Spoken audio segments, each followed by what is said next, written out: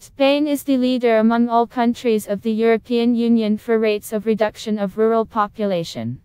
For decades millions of people have migrated to cities in search of work.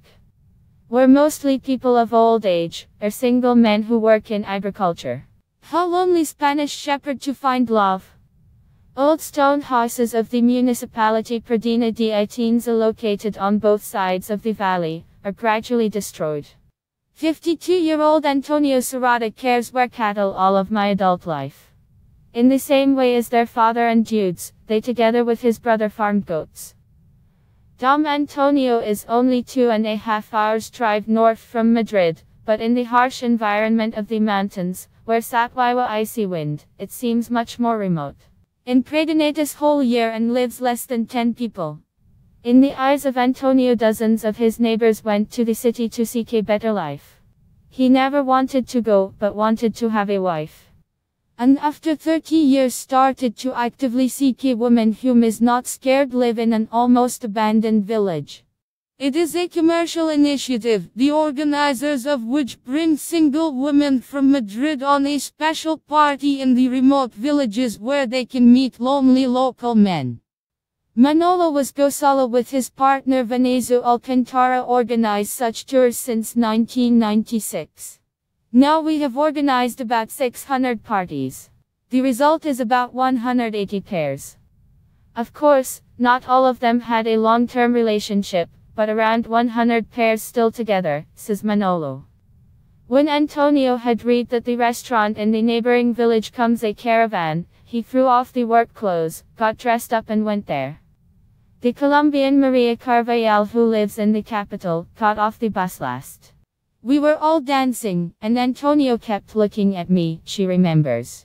And I asked him, want to dance? He replied that he does not know how.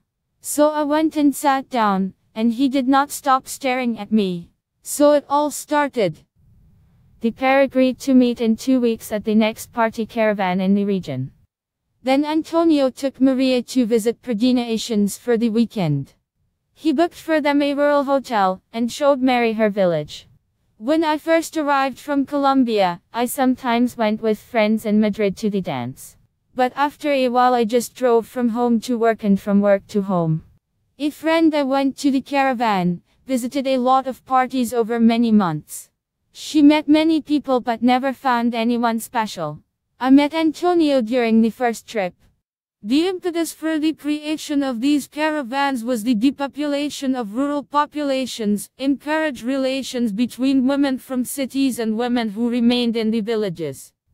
Migration from villages actively began during the Franco dictatorship in the late 1950s, when factories in the cities offered jobs for the villagers.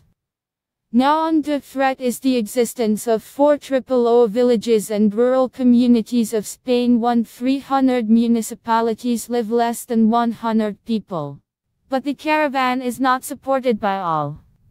Critics say the transportation of women across Spain to meet the needs of men turns them into a commodity. And the fact that most of the women in the caravans are migrants from Latin America and Eastern Europe, making them more vulnerable. Repeatedly the bus caravan painted graffiti Machista Caravana, the caravan Machismo, and La Mujer no es ganado, female, not cattle. There are many companies that organize night singles in the city, and we're just doing it in a rural area where a lot of single men. And some of them do not know how to use the internet, someone who barely knows how to use a mobile phone. From the meeting of Antonio and Maria it has been almost six years. Antonio is still extremely thrilled that I found my love after such a long search. A year and a half ago they had a baby named Antonio. It's exciting to see him when I come home from work, play with it. I spend my entire day with the animals, and then finally have someone to talk to. I finally have a real home, not just a place to live, says Antonio. For Antonio Serrada the joy of fatherhood does not dim, he's enjoying every minute of it and optimistic about the future, regardless of whether his son is one of those who will help to keep the village Prádena or like most, decides to go into town.